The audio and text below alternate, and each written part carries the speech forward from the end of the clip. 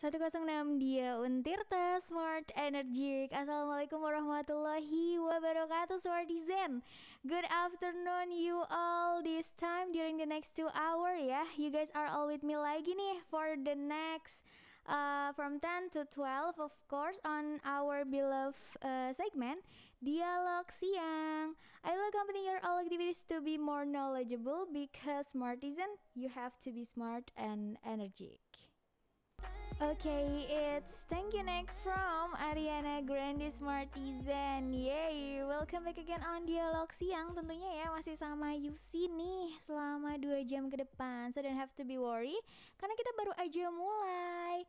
Nah, kalau misalkan banyak banget dari kalian ya yang membicarakan tentang perempuan di hari Jumat. Waduh, apa ini maksudnya ya kan? Jadi hari ini Yusi juga ingin membicarakan tentang pemberdayaan perempuan pesisir lokal. Wow, it's something new for me actually. Tapi kayak karena uh, Serang juga sebenarnya pesisir ya deket-deket pantai juga nih apalagi daerah daerah rumah saya nih Kasemen Banten Lama Karangan tuh nah itu udah pesisir banget tuh smart design semua ya. Struktur sosial masyarakat pesisir atau masyarakat nelayan nih menempatkan kaum perempuan pada posisi dan uh, peranan yang khas gitu loh sebagai manifestasi dari karakteristik ekonomi perikanan tangkap apa tuh maksudnya uh, kayu sih gitu kan. Jadi posisi sosial yang spesifik ini ya menjadikan perempuan pesisir, khususnya istri-istri nelayan ini memainkan peranan penting gitu loh dalam uh, menjaga kelangsungan hidup rumah tangganya kayak gitu. Dan juga um, Kedudukan sosial yang de, uh, demikian itu diperoleh perempuan pesisir karena tuntutan alamiah Smartizen. Jadi bukan hanya hasil dari intervensi kebijakan resmi uh, berdimensi ke kesetaraan gender ya. Jadi bukan hanya itu ya. Nah, seiring dengan perubahan-perubahan aktual yang terjadi karena kebijakan ekonomi itu sendiri ini ya, Smartizen, negara pengelolaan sumber daya pesisir laut yang eksploitatif, juga dampak pemanasan global terhadap kehidupan nelayan, kayak gitu-gitu kan, menimbulkan beban tanggung jawab perempuan uh, lebih besar lagi kayak gitu. Wow kalau misalkan dibilang tanggung jawab perempuan sudah besar ya ditambah lagi dengan hal-hal seperti ini yang yakin besar gitu kan tanggung jawabnya. Nah, khususnya untuk memenuhi kebutuhan ekonomi rumah tangganya nih, itu pasti semakin berat dong. Jika situasi-situasi demikian terus berkembang luas nih ya Smartizen, maka hal-hal ini tuh akan menjadi ancaman serius katanya terhadap kelangsungan hidup masyarakat pesisir. Waduh, gimana dong? Masa uh, masyarakat pesisir kan istilahnya bukan masyarakat-masyarakat yang uh, kelas elit ya, jadi ayo dong kalau bisa kita uh, kurangi kesulitannya gitu loh. Jangan malah memperkeruh dan mempersulit seperti itu ya tapi jangan khawatir karena uh, siang ini Yusi bakal ditemenin sama sahabat diskusi nih Smartizen. Jadi Yusi nggak akan ngomong sendiri. Yusi juga nggak akan uh, chit-chat sendirian kayak gitu kan. Jadi aku ada temen diskusinya hari ini. Siapakah beliau? Nanti langsung aja aku invite ke frame kita ya. So don't go anywhere, just stick around with me on Dialog Siang and enjoy this music Smartizen. Oke, okay, Design, What's My Name from Rihanna yang menemani kita di awal siang ini ya. E, Yusi masih balik lagi dong di dialog siang tentunya dan sesuai sama perjanjian aku tadi ke kamu-kamu semua nih yang masih di luar sana aku bakal ditemenin sama seorang sadis atau sahabat diskusi nih Smartizen. Siapakah beliau? Jadi beliau adalah seorang dosen ya di FH Untirta. Waduh. Dan pernah mengampu di mata kuliah hukum internasional, hukum laut internasional, hukum perjanjian internasional. Wow, it's all about international actually. Dan namanya adalah Bapak Surya Anom SHLLM ya. S1 satunya itu di uh, Untirta. Wow, Fakultas Hukum Untirta ternyata ada alumni di sini. Lalu S2 di Fakultas Hukum UGM. That's it. Itu adalah uh, sedikit informasi ya Smartizen tentang sahabat uh, diskusi kita hari ini. Oleh karena itu nih, biar Yusi nggak chit-chat sendirian kayak gini ya kan, mending kita langsung aja undang beliau ke frame kita dan langsung flip kameranya terus say hello gimana Smartizen. Setuju tidak? Setuju aja ya. Kalau nggak setuju aku ngambek. Setuju ya Smartisan? Setuju. Oke, kalau gitu kita langsung flip kamera dan say hello. Assalamualaikum Bapak eh aku manggil siapa? Pak Surya Bapak Anom nih? Boleh mana saja. Yang mana saja? Oke, Bapak yang mana saja? enggak, enggak. Bapak Surya aja kali ya.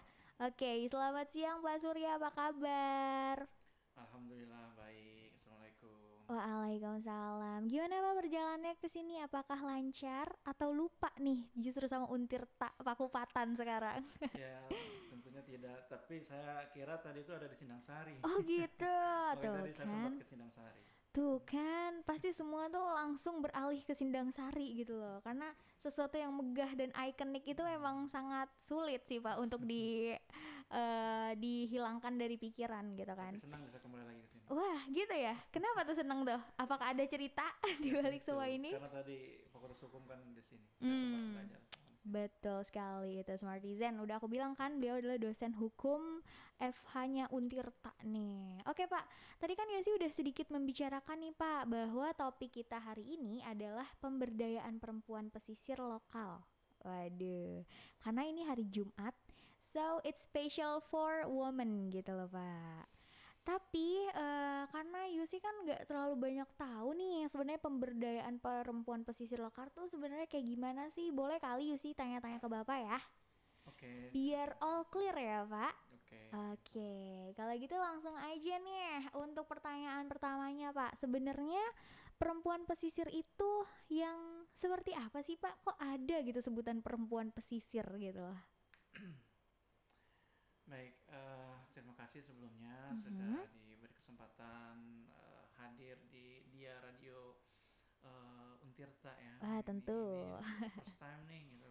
saya Wow, gitu first kan. time. Nah, ah, nah, eh, berkaitan dengan eh, perempuan pesisir itu sebenarnya sebuah etimologi sebutan eh, biasa dan kalau kita temukan itu ada di mana Mhm. tentu eh, dalam eh, peraturan perundang-undangan kita tidak menemukan itu cuman ini memang sebuah sebutan secara khusus ya Mhm. bagi mereka eh, perempuan-perempuan yang memang eh, secara eh, de facto ada hidup di wilayah pesisir. Nah, pemberdayaan yang dimaksud yang eh, tadi ditanyakan adalah upaya untuk bagaimana perempuan-perempuan yang di pesisir itu Mhm. itu dapat eh, survive, dapat juga menopang hidup eh, keluarga, juga eh, sebagai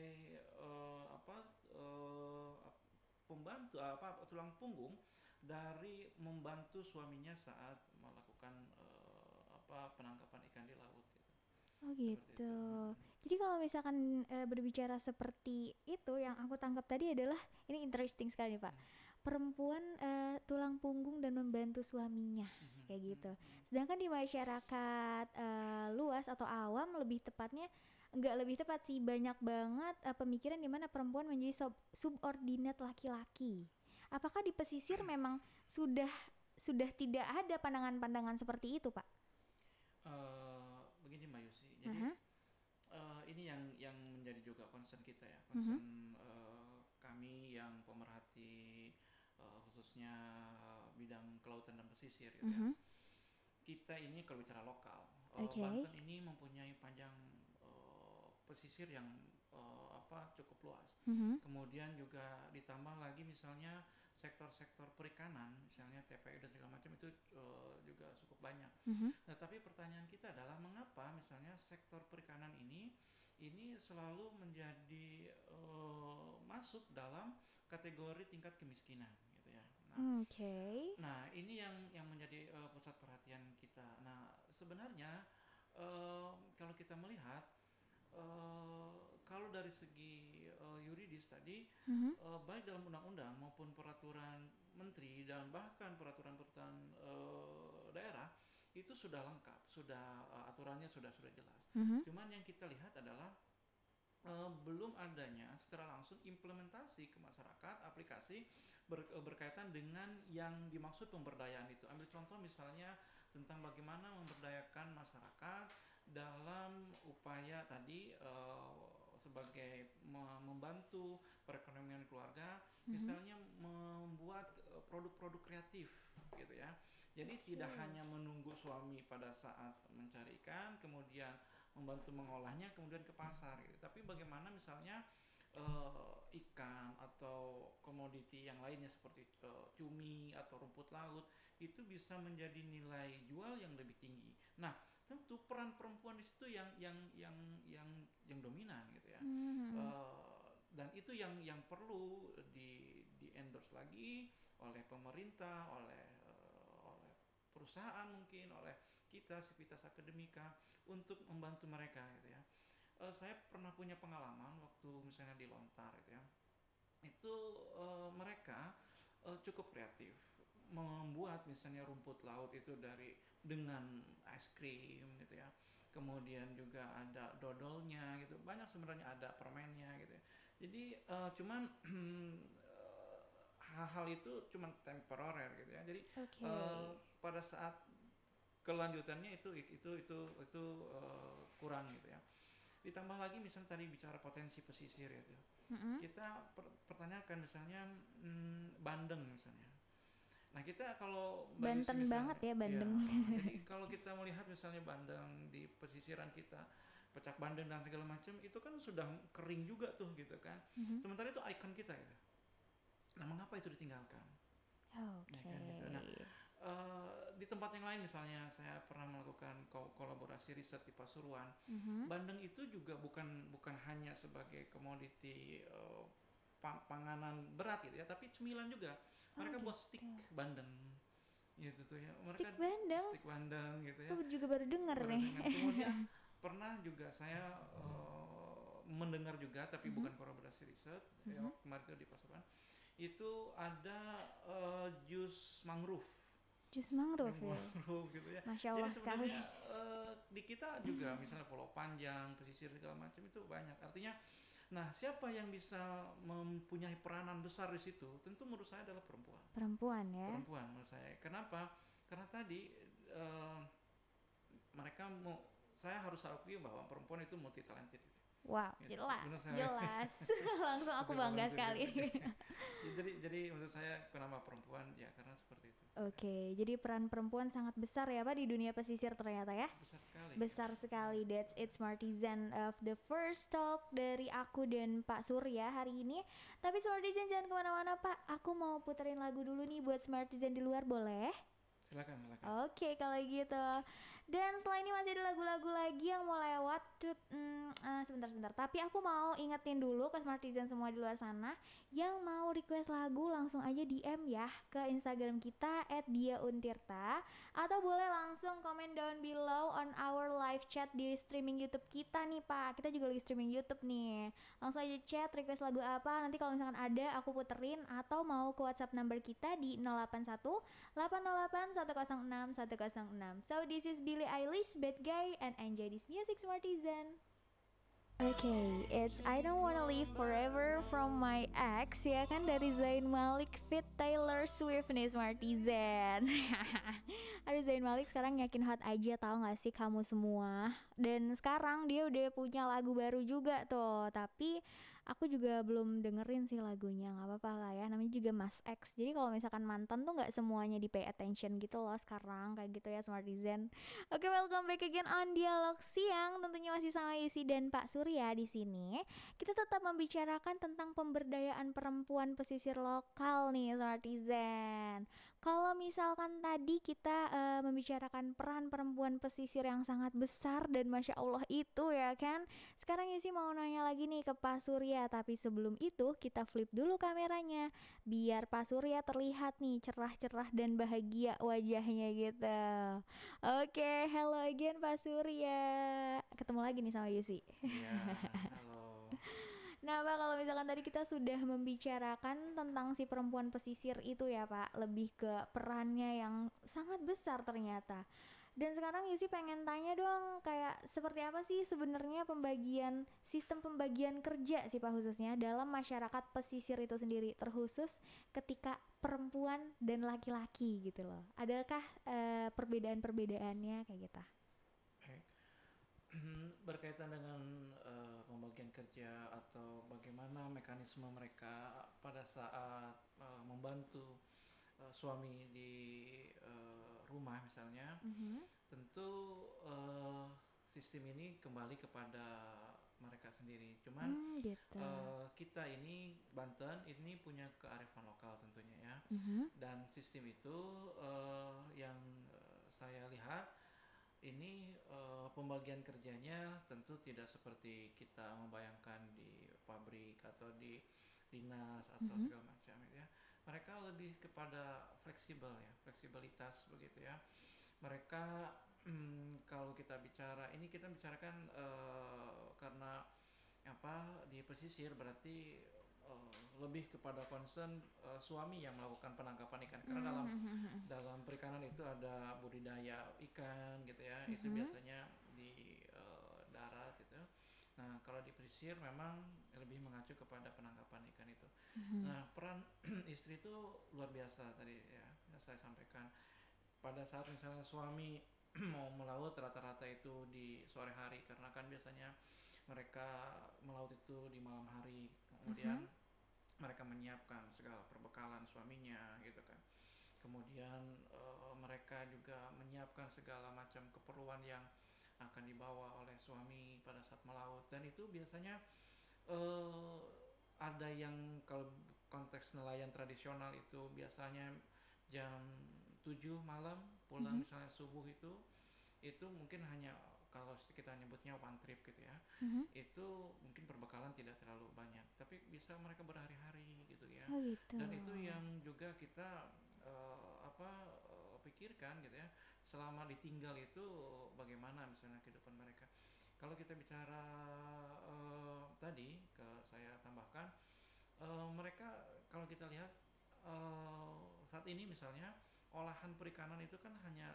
dengan apa sih olahan ikan pada saat itu pada saat setelah penangkapan paling selesai di dibuat asin gitu ya ikan asin gitu ya Oh ikan yang fresh Eh, gitu iya ya. kan tidak tidak tidak asing seperti itu dan Mhm. kemudian kalau kita lihat bahwa nilai ekonomisnya juga tidak terlalu tinggi juga ya Mhm. jadi tujuan eh, pemberdayaan perempuan pesisir ini adalah bagaimana bisa ya meningkatkan eh, taraf hidup mereka dengan kemampuan yang mereka miliki dengan waktu yang mereka miliki saya berkeyakinan kalau mereka diberikan eh, apa wawasan keterampilan gitu ya Mhm. dengan nilai-nilai inovasi yang lain ya saya yakin itu bisa dilakukan gitu ya dan itu eh, kembali kepada tadi sistem pembagian kerja tadi Mhm. itu eh, tergantung dari eh, bagaimana Masing-masing ya, ya. tergantung dari bagaimana suami itu melakukan eh, penangkapan ikan apakah one trip gitu ya. tapi yang jelas pembagian kerja yang dimaksud itu biasanya setelah misalnya kalau apa ikan datang itu biasanya mereka juga suka menyortir tuh Hmm, suka menyortir mhm, yang mhm. yang mana, yang layak mana tidak layak gitu ya Mhm. dan itu eh, ke- apa ketelatenan mereka ketekunan mereka gitu ya dan tapi menurut saya itu sih oke bagus gitu tapi eh, kalau ingin lebih cepat meningkatkan taraf hidup eh, mereka ya dari mengangkat dari tingkat kemiskinan itu Mhm. maka perlu ada inovasi gitu ya gitu dan tentu pemerintah daerah dan pemerintah pusat ini juga sudah sering gitu ya sudah sering untuk melakukan edukasi-edukasi itu Mhm. cuman memang kelemahan di kita adalah pada saat kita sudah memberikan edukasi itu Mhm. kita tidak terus melakukan pembinaan Hmm. evaluasi sehingga pada saat mis- misalnya tadi kalau misalnya eh, cumi itu ya cumi yang di- dibuat kerupuk yang tadi saya ceritain itu Mhm. mereka dibuat kemasannya bagus ya tidak tidak tidak polos didaftarkan ke BP OM gitu kan. MUI dan Mm-mm. segala macam gitu ya dan pemasarannya juga online gitu jadi itu kan eh, continue tuh gitu ya menarik sekali gitu dan kalau hanya habis jual setelah itu selesai itu juga kurang kurang apa ya Kurang menarik sih ya, ya. kurang menarik kemudian Mhm. juga em, kita nih gitu ya di eh, masalah perikanan ini eh, kalau saya apa bayangkan itu ya maaf kalau saya bandingkan dengan petani petani itu punya punya punya ladang Mhm. punya ladang Mhm. punya ladang kepada saat mereka mencangkul atau ngolah sawah itu. Kalau nelayan, ya di mana gitu ya? Mereka Mhm. di laut, kemudian tidak pasti dengan cuacanya gitu ya. Mereka para perempuan melepas suaminya itu juga harus juga siap dengan berita Resiko-resikonya ya, fisika, Pak ya. gitu ya kan dengan apalagi sekarang gitu ya Mm-mm. kemudian juga bahan bakar belum lagi resiko yang lain li- lifeguard segala macam karena mereka tidak dibekali bekali seperti itu nah eh, kembali bahwa kalau hanya suami saja gitu yang Mhm. yang mengandalkan hasil dari hasil penangkapan ikan maka taraf hidup mereka sebagai nelayan ya akan begitu begitu saja Oke. gitu. Nah itulah peran perempuan pesisir itu maksud saya itu perlu di, di eh, Lakukan inovasinya ya, Pak lagi. ya. Ya, menurut saya seperti. Oke, untuk eh, peningkatan untuk peningkatan masyarakat pesisir sendiri ya, Pak ya, kayak gitu. Betul. Kayak gitu smart design. Terus kalau untuk fungsi perempuan pesisir sendiri nih Pak sebagai modal pemberdayaan berarti bisa dikatakan Hmm. seperti itu kah? Ya, s- eh, saya saya setuju dengan dengan dengan kalimat itu. Jadi eh, mereka memang bisa di eh, apa apa eh, motor penggerak juga ya. Mhm. Jadi bukan hanya sebagai tadi ya eh, menerima hasil yang diberikan suami, Mhm. tapi bagaimana hasil itu bisa membuahkan nilai yang yang Lebih. juga lebih juga gitu ya. Dan Mhm. ini penting bagi suami juga dan ini juga harus diberikan pemahaman sebenarnya gitu ya. Mhm. Pada saat eh, misalnya istri mereka mengikuti pelatihan gitu ya, ya mau ya jangan dilarang-larang gitu ya, gitu ya. Jadi karena apa? Karena memang untuk tujuan eh, tadi gitu ya. Eh, Peningkatan taraf peningkatan- hidup. Karena apa? Karena dengan taraf hidup meningkat Mhm. sehingga eh, mereka dapat menyekolak apa menyekolahkan anak mereka juga Mhm. itu juga dengan dengan baik gitu ya. Itu Mm-mm. jadi efeknya akan akan akan luas gitu tuh. Jadi efeknya tidak hanya eh, kepada misalkan sandang pangan mereka saja tapi juga ke dunia pendidikan anak-anak kayak gitu ya Pak ya. Hmm. Wow, besar sekali ternyata efeknya Smartizen untuk perempuan sebagai modal pemberdayaan ini ya Pak ya. Ya, Jadi Bapak setuju dengan statement ini? tentu karena memang Oke. itu yang yang yang kita galakan juga ya. That's it Smartizen of the second talk dari aku dan Pak Surya tentunya. Setelah ini masih ada lagu-lagu lagi nih yang mau lewat. Kalau tadi ada mantan aku ya kan. Sekarang ada dari NF Let You Down nih Smartizen. Katanya ada yang mau request. Kayak sih boleh gak sih eh, puterin lagunya NF Let You Down? Boleh banget. Ini NF Let You Down buat kamu ya Smartizen and enjoy this music. Hey it's Havana from Camila Cabello nih pacarnya Shawn Mendes Mardizan ya kan? Iya dong Kak Yosi. Gimana gimana? It's been hampir udah satu jam lebih dong ya ampun. Gak keras banget gak sih Smartisan? Padahal ini aku lagi puasa tapi literally waktu berjalan cepet banget. Tuh keren. Welcome back again on Dialog Siang tentunya masih sama Yusi dan Pak Surya di sini. Nah, untuk itu ya Smartizen karena sudah pukul 11.26 nih, it's gonna be our last talk ya probably. Kita langsung aja undang Pak Suryanya supaya bisa langsung jawab pertanyaan aku and all clear seperti yang sudah-sudah seperti tadi ya. Langsung kita flip kamera and say hello again Pak Surya. Hello. Halo, boleh dadah-dadah ke kamera dulu pak Nah, kan itu lucu kan kayak gitu Oke pak, eh, Seperti kita, ya. lucu. iya betul sekali Kita lanjut ya pak. Seperti yang udah Yusi bilang, kayaknya ini bakal jadi talk terakhir kita nih pak Karena sudah pukul 11.27 nih, nambah lagi nih satu menit sekarang Tapi nggak apa-apa karena eh, Yusi masih ada beberapa pertanyaan buat bapak nggak apa-apa ya Boleh, boleh. boleh. Kalau gitu Pak, tadi kan dijelaskan bahwa perempuan pesisir nih sebagai modal pemberdayaan dan Bapak setuju dengan statement tersebut. Juga peran perempuan pesisir tuh sangat besar gitu loh untuk peningkatan taraf eh, hidup masyarakat-masyarakat pesisirnya kayak gitu kan. Lalu aku mau tanya nih, sekiranya tantangan seperti apa sih yang dihadapi oleh para perempuan pesisir itu sendiri, Pak? Baik. eh, bicara tantangan, Mhm. mungkin eh, saya lebih lebih simpelnya kita eh, bagi dalam dua bentuk ya tantangan Boleh. dalam eh, eksternal dengan internal. Nah, Mhm. Eh, kita tidak bicara uh, tantangan ini secara bentuk um, kuantitas atau Mhm. jumlah atau kualitasnya. Uh, yang pertama bicara uh, bicara tentang tantangan internal. In- Oke. Internal itu dari keluarga tentu. internal ya. Bisa dari suami, bisa dari anak, Mhm. dan bisa dari diri, diri dia sendiri gitu ya. Oke.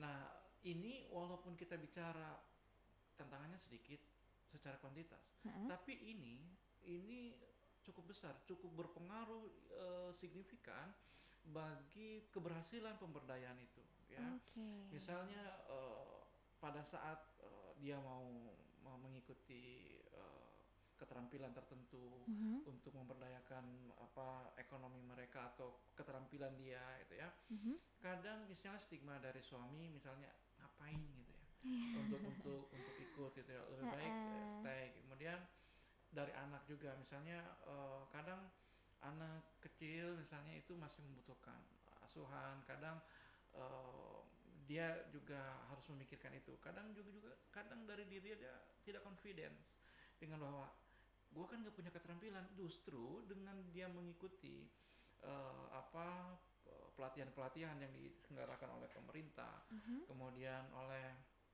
swasta justru akan akan merubah merubah itu gitu ya Eh, tapi kadang eh, faktor-faktor dari eh, ma- dia sendiri ya itu kurang gitu nah makanya perlu itu dibangun kelompok gitu ya supaya Mhm. memang eh, apa memacu mereka dan terajak untuk mengikuti kegiatan-kegiatan kegiatan tersebut Nah, ya.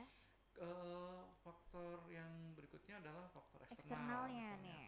Nah, faktor eksternal itu ya lebih eh, condong kepada kalau saat ini saya melihat adalah eh, dari eh, pangsa pasar ya. Oh, Kadang ya, kadang memang eh, tantangannya adalah pada saat mereka sudah jadi ini produk gitu ya. Tantangannya ini mau ke mana gitu. Apakah produk ini diterima enggak oleh market? Kemudian bagaimana dengan pemodalannya? Kalau memang misalnya pada saat tertentu mereka down gitu ya, Mhm. bagaimana dengan pemodalannya gitu ya. Nah, itulah akses-akses eh, ke- kepada pemodalan, perbankan, kredit gitu ya. Itu kadang masih masih kurang. Nah, eh, misalnya bicara perbankan untuk permodalan misalnya atau Mhm. koperasi. Kadang kita akan berbicara eh, loan berapa, pinjam berapa, jaminannya apa. Nah, kalau kita bicara jaminannya apa, kadang mereka bingung gitu ya. Apa yang mau mereka jaminkan? Gitu Mhm. eh, perahu yang mereka itu apakah mereka layak untuk untuk dijaminkan. Nah kadang akses permodalan kadang seperti itu tangannya. Eh, kemudian eh, tadi market tadi pasaran gitu ya. Nah itulah makanya kok perlu tadi gitu ya kolaborasi dengan apa namanya perusahaan Mhm. stakeholder yang lain yang mampu mengarahkan itu UMKM seperti itu makanya eh, harapan kita misalnya dengan ada undang-undang cipta kerja itu Cipta kerja ya. itu yang di antaranya dalam ruang lingkupnya itu adalah eh, mempermudah perizinan UMKM dan segala macam ya Mhm. semoga bisa mengeliminasi dari eh, hambatan-hambatan eksternal itu gitu ya dan eh, satu lagi tadi kalau bicara harapannya seperti apa Mhm. saya mungkin kembali kepada amanat dari eh, pasal 11 dari peraturan menteri eh, kelautan dan perikanan ya nomor 40 tahun 2014 di Oke. pa- di mana di- disebutkan di situ bahwa eh, ada apa peran peran peran perempuan ya kalau saya bacakan misalnya Mhm. bagaimana misalnya tentang peningkatan kualitas, kapasitas, pemberian akses eh, teknologi, informasi, pemodalan, infrastruktur, jaminan pasar, aset ekonomi dan yang, eh, yang lainnya itu. Nah harapan saya tadi itu bahwa ini bisa terbuka, bisa terbuka. Ya tentu yang bisa membuka ini adalah eh, pemerintah, kemudian juga stakeholder yang lain, gitu ya Mhm. eh, swasta tentunya gitu ya Eh, dan juga ini kalau sudah ada dan pe- perempuan ya pesisir ini juga harus mampu membuktikan bahwa memang mereka layak gitu ya Mhm. dan mereka bisa dan mereka harus menunjukkan itu jadi jangan sampai eh, itu sudah dibuka kemudian mereka eh, patah semangat gitu ya kemudian jadi ini memang eh, butuh sinergitas yang luar biasa dari keluarga dari dia sendiri pemerintah, kemudian stakeholder yang lain, kita juga perguruan tinggi gitu ya. Mm-mm. Dan itu eh, keberlanjutan. Jadi tidak bisa kita bicara pemberdayaan perempuan itu kita kita minta mereka supaya berdaya, tapi kita tidak memberikan misalnya eh, kesempatan mereka ya, untuk berdaya itu gitu ya. Dengan tadi Oke. pemodalan gitu segala macam. Jadi eh, harapan saya ya tadi itu dengan dengan ini bisa dibuka kesempatan-kesempatan yang luar biasa ya dan perempuan pesisir juga harus menunjukkan bahwa mereka itu memang mampu ya Oke. mampu untuk eh, keluar dari keadaan saat ini gitu. Ya, kalau eh, apa Mbak Yusi melihat misalnya Mhm. kali-kali berjalan di, di pesisir pantai gitu ya Oke. em, tentu akan terenyuh gitu ya melihat melihat keadaan yang sekarang gitu ya Iya. karena ya begitulah gitu ya keadaannya seperti itu tetapi di tidak semuanya seperti itu ada yang memang sudah sudah mulai berkembang tumbuh gitu nah eh, yang sudah berkembang dan tumbuh itu harapan saya itu bisa menjadi eh, apa magnet bagi yang lain gitu. Pemantik gitu ya, Pak ya. Mm, bagi kemudian eh, tentu akan mempunyai perbedaan-perbedaan ya. Ada pesisir yang misalnya di Serang Mhm. di Kabupaten Lebak, di Paneglang, tentu akan mempunyai kekhasan sendiri gitu ya. Dan itu bagus gitu ya untuk untuk apa? perekonomian Banten itu sendiri. Oke, jadi harapannya perempuan-perempuan eh, pesisir Indonesia khususnya wilayah Banten agar lebih percaya kepada dirinya sendiri, iya nggak sih Pak? Saya melihat seperti itu. Harus, Iya. Harus banget, karena Karena ya, mereka menurut saya eh, punya talent ya. Iya talent betul, karena. Mereka punya talent kalau misalkan nggak dipergunakan dengan baik talentnya, Hmm, hmm. sayang banget ya Pak ya. Hmm. Eh, kan lumayan tuh bisa meningkatkan taraf hidup keluarganya juga, terus juga bisa meningkatkan eh, istilahnya keberlangsungan masyarakat di daerah setempatnya kayak gitu ya Pak ya. Keren banget nih pokoknya buat para perempuan pesisir eh, khususnya wilayah Banten ya. Kamu semua harus semangat karena em, kamu yang juga memegang perubahan ya Pak untuk wilayah pesisir itu sendiri. Betul, Sepakat? Betul, betul. Sepakat seperti itu Smart Design. Oke Pak Surya, thank you banget udah nemenin Sama-sama, Yusi selama sama-sama. hampir dua jam nih Pak. Nggak kerasa banget nggak sih? ya hitung-hitung ngabuburit kata Ngabuburit. bahasa Ngabuburit masih 6 jam lagi. berarti ngabuburit tempat yang lain iya, oke kalau gitu Pak, eh, semoga Bapak sehat terus. kasih, semoga amin. Bapak sukses. Amin. Salam buat keluarga di rumah ya Pak. Ya, sama-sama, Dan eh, jangan bosan-bosan kalau misalkan Yusi undang lagi nih ke Oh, sini. senang senang hati insya Allah akan akan diluangkan waktunya Eh, eh, adakah eh, kayak eh, mungkin saran, oh, bukan saran sih lebih ke promote something mungkin Bapak ada yang ingin dikatakan ke Smartizen semua khususnya wilayah masyarakat pesisir? Em, mereka sebenarnya em, sangat mungkin ya membutuhkan informasi Mhm, membutuhkan komunikasi Mhm. konsultasi advokasi dan segala macam mhm.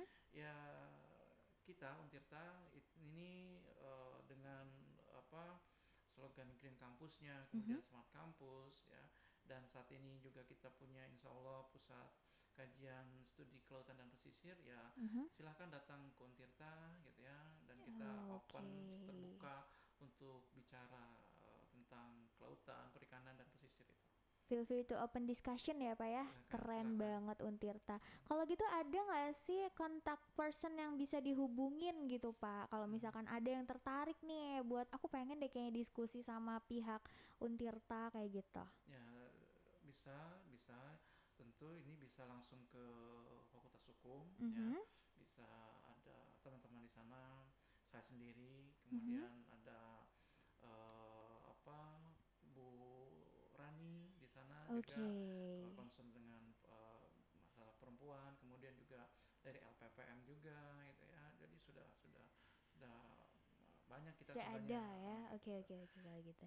That's it Smart Design. Eh, kalau misalkan kamu yang tertarik boleh langsung banget datang ke Fakultas Hukum Untirta ya. Yang di Sindang Sari apa di Pakupatan nih? ada Sindang dua Sari, nih. Sindang Sari tentunya. Tuh di Sindang Sari ya sekarang Smartizen udah pindah Kayak gitu Oke thank you banget Pak sekali lagi Dan segitu aja dari Yusi Semoga Bapak gak bosan-bosan terus ya ketemu sama aku Kalau gitu uh, Goodbye and Assalamualaikum warahmatullahi wabarakatuh Bapak Waalaikumsalam warahmatullahi wabarakatuh. Selamat siang. Selamat siang Nah kayak gitu Smartizen Pembicaraan aku sama Pak Surya ya di siang hari ini Waduh, udah ditinggalin aja nih Yusi ya kan sendirian lagi Tapi nggak apa-apa, karena setelah ini masih ada lagu-lagu lagi nih yang mau aku puterin. Buat Najmi, kamu katanya mau Kaigo ya, mau dengerin lagu Kaigo ya. Oke oke nih, aku ada lagu Kaigo and One Republic, Lose Somebody and Enjoy This Music nih Aye, it's California Girls from Katy Perry Smartizen ya Yang mengakhiri berarti nih Karena sudah pukul 12 lewat 01 Ya gimana dong Smartizen But don't have to be worried sekali lagi Karena Yusi bakal review ulang nih Tentang apa aja yang telah kita bahas selama 2 jam ke belakang tadi bersama Pak Surya ya. Kalau misalkan Smartizen semua mengikuti kita dari awal nih ya, kita tuh membahas topik hari ini itu ya tentang pemberdayaan perempuan pesisir lokal kayak gitu Smartizen. Kalau misalkan ditanya perempuan pesisir itu seperti apa kayak gitu kan. Tadi jawaban dari Pak Surya adalah perempuan-perempuan hebat katanya ya yang eh, berada di sekitar wilayah pesisir em, daerahnya tempat tinggalnya gitu yang ikut membantu para suaminya untuk eh, meningkatkan taraf kehidupannya kayak gitu. Kalau misalkan ditanya lagi nih Kak Isi terus sistem peka- eh, pembagian kerjanya gimana dong kalau dalam masyarakat pesisir kan? Ternyata nih di masyarakat pesisir nih ya Smartizen itu lebih ke eh, perempuan ini ternyata memiliki peran yang penting untuk meningkatkan taraf hidup eh, keluarganya juga kayak gitu. Jadi untuk sistem pembagian kerjanya kalau tadi kita bicarakan dengan Pak Surya ya, untuk yang pergi-pergian ke lautnya kayak gitu, kayak eh, jaring ikan kayak gitu-gitu lebih ke sosok suami ya Smartizen. Tapi untuk yang meningkatkan inovasi tentang barang yang dia jual atau ikan-ikan segar tersebut ya itu lebih ke eh, sosok perempuannya akan seperti apakah jadinya si ikan tersebut di tangan perempuan-perempuan pesisir kayak gitu Smartizen. Jadi kalau misalkan ditanyain nih fungsi perempuan pesisir sebagai modal pemberdayaan tuh sebenarnya apa sih kayak gitu? Itu sangat besar dan statement ini divalidasikan dan disetujui langsung oleh Pak Surya sebagai dosen hukum internasional loh. Itu loh yang bikin serem nih. Jadi kata Pak Surya katanya eh, perempuan pesisir sebagai modal pemberdayaan itu sangat penting ya karena yaitu tadi eh, untuk bisa berinovasi tentang eh, nilai jual barang yang akan dijual lagi kayak gitu. Jadi tidak melulu tentang si ikan yang fresh ataupun paling ikan asin lagi kayak gitu kan. Karena dari pemerintah sendiri nih Smartizen ya itu eh, mengadakan yang namanya kegiatan kelas kreativitas kayak gitu. Tapi memang tidak mudah untuk di-apply di seluruh pesisir khususnya di Indonesia ini Smartizen karena kan memang pesisir di Indonesia lumayan luas ya. Kita rata-rata pantai ya nggak sih? Ke sini pantai ke sana pantai. Nah lalu juga em, untuk fungsi perempuan itu sendiri ya eh, dan tantangannya nih. Ternyata ada dua kategori yang dibicarakan oleh Pak Surya tentang tantangan yang dihadapi oleh perempuan pesisir yakni dari internal dan eksternal. Kalau misalkan dari internal itu lebih ke tantangan dari keluarganya dari dirinya sendiri kayak gitu. Kayak misalkan kamu dilarang untuk mengikuti kegiatan k- kreativitas yang diselenggarakan pemerintah misalkan itu oleh suami kamu kayak gitu itu kan sebuah tantangan toh. Jadi tidak ada ad- eh, peningkatan eh, kreativitas nantinya kayak gitu. Lalu kalau eksternal itu lebih ke yang regulasinya ya peraturan-peraturan dan perundang-undangannya kayak gitu. Jadi perlu juga diperjelas nih ya Smartizen semua bahwasannya ternyata menjadi perempuan pesisir itu tidak mudah kayak gitu loh. Mereka juga eh, ikut uh, memegang kendali akan kebutuhan keluarganya juga kayak gitu. Untuk peningkatan taraf hidup keluarga juga masyarakat setempat kayak gitu-gitu kan. Kalau misalkan di masyarakat pesisir uh, taraf hidupnya meningkat ekonomi Indonesia juga automatically bakal meningkat kayak gitu smartizen that's why uh, Pak Surya sangat-sangat mendukung statement bahwa perempuan pesisir ini sebagai uh, modal pemberdayaannya kayak gitu ya smartizen Oke, okay, that's all um, untuk review yang telah dua jam kurang lebih ya kita bicarakan dengan Pak Surya. Sorry banget kalau misalkan isi ada salah-salah kata and don't have to be worry karena jam 3 sampai jam 5 nanti sih bakal balik lagi di dialog senja on another topic, another problem, another person tentunya ya. Jadi selalu ikuti aku terus, selalu tonton dan juga jangan lupa Turn in radio kamu di 106 Dia Untirta. Oke, okay, see you and um, selamat menjalankan ibadah puasa juga ya. Aku hampir lupa loh. Saking semangatnya aku hari ini. Selamat menjalankan ibadah puasa buat kamu semua yang menjalankan ibadah tersebut. Kayak gitu ya Smartizen. Goodbye and see you again.